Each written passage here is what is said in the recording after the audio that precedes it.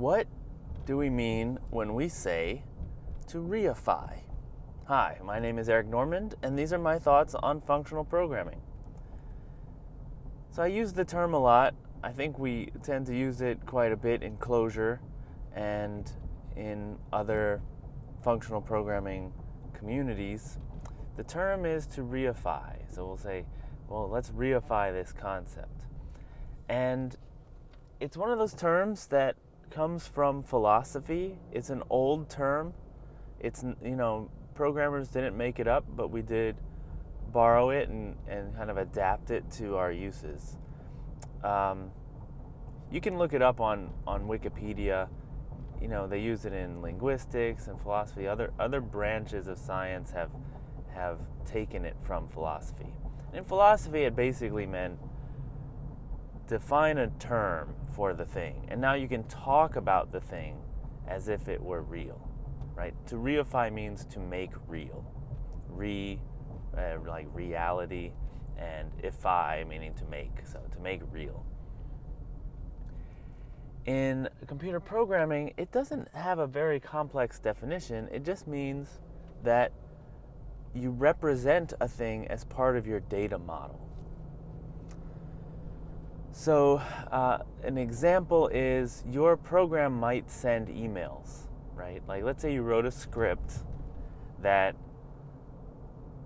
set that piped the uh, the the send command to the mail program, and it sent you know it piped the the from and the to and the subject and the body, and then it sent an end of stream character, and then that happened to send your email. Notice the the it's it's this imperative step-by-step view of how to send an email, but it's never represented in the data model. Right? It's never like a thing you can manipulate. The only thing you can do is change what you send to this this output stream that is going to eventually send an email.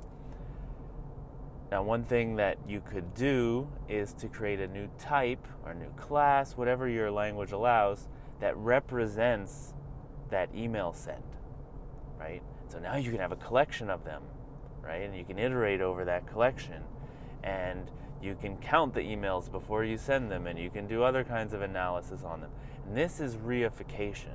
This is turning this thing that, you know, basically just an action that would happen into something that you can analyze and and and use uh, in your programming language, right? You can use it as part of, just like you in in a procedural language, you can use an integer and pass it around and manipulate it and analyze it. Well, now you can take because it's part of your data model, you can take that email send and make it part of your the like the semantics of your program. This is one of those things that is the secret to languages like Lisp and Smalltalk. This is what they do is they give you a way to reify things. Smalltalk did it really well. It was like its main its main advantage over other languages was instead of things just being like drawing routines for putting stuff onto onto the screen, you would actually represent the thing. And it had a draw method, and you could manipulate the thing, change its shape, change its you know um, dimensions, things like that, change its color, and it, it's much easier to think in that in that way. This is the the whole idea of object-oriented programming being more intuitive Is that instead of having to like somehow change the program so that it now outputs something different, you just pass in a different thing and it'll draw that different thing. Um, similarly, in Smalltalk, the methods, the code itself was manipulable. It had been reified, just like in Lisp.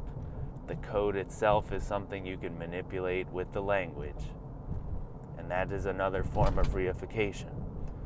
And in Smalltalk, they just went all the way. Everything was reified. Even the class that held the code for the methods, that also was an object that you could manipulate. And even the the inheritance hierarchy was something that you could just manipulate in code. Right? Now, Smalltalk also went a step further and made it so that you could manipulate it with the GUI, right? But that's a that's another story. They they wanted they wanted programming and and you know drag and drop basically or select the items in the menu to be all the same. You could do it both ways. Um, all right, so reification it just means take something and put it in, bring it into your data model so that you can you can get a handle on it, right? And you can use it. Usually, it means it becomes first class. You can do run algorithms over it, do analysis, uh, that kind of thing. All right, my name is Eric Normand. Uh, thanks for listening. Uh, please subscribe, and you'll get notified when new episodes come out. Uh, you can also get in touch with me on Twitter. I'm at Eric Normand. Or you can email me, eric at lispcast.com. This question actually came from an email. So thanks, RJ, for that great question. And yes, I'll see you next time. Bye.